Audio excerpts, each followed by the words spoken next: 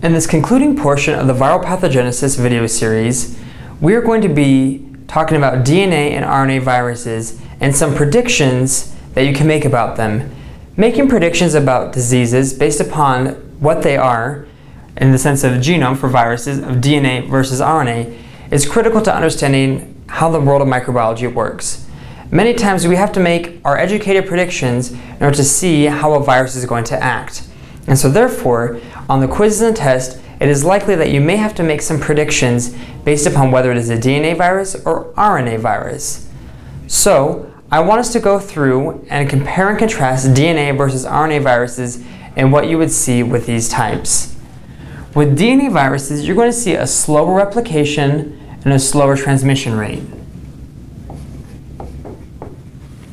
While RNA is going to be the opposite. This is going to be quick replication and quick transmission.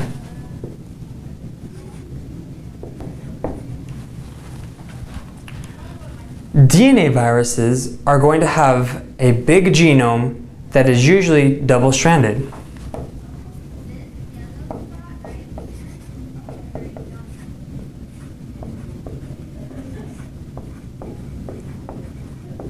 So I'm putting DS, and that stands for double-stranded, while RNA are smaller genomes and single-stranded.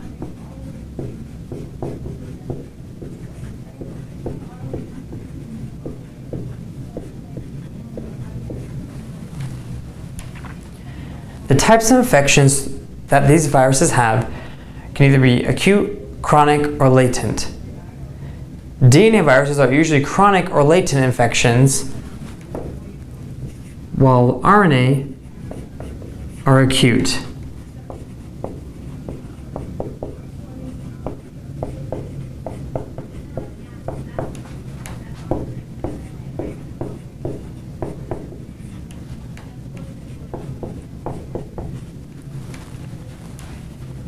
DNA viruses are going to undergo mutations slower than RNA viruses.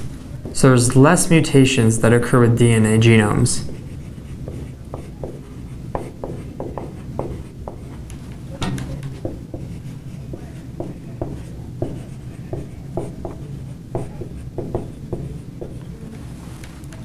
This is in part due to the double-stranded versus single-stranded nature. With a double-stranded DNA, you have your bottom strand and your top strand that will match each other so they can check to make sure that they are correct. While single-stranded, there's only one strand, so it doesn't have a friend or a second strand to make sure that it did it right. So the virus will replicate and it says, I think I did it correct, but there's no way to double check, no way to make sure that it did that.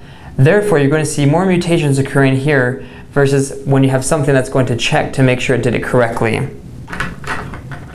These more mutations are going to end up in the RNA changing more quickly, which is why it has quick replication transmission. And in addition, as it does that change, it's more likely to be a zoonotic disease, or in other words, zoonosis. A reminder of what zoonotic diseases are, it means that it went from an animal to a human.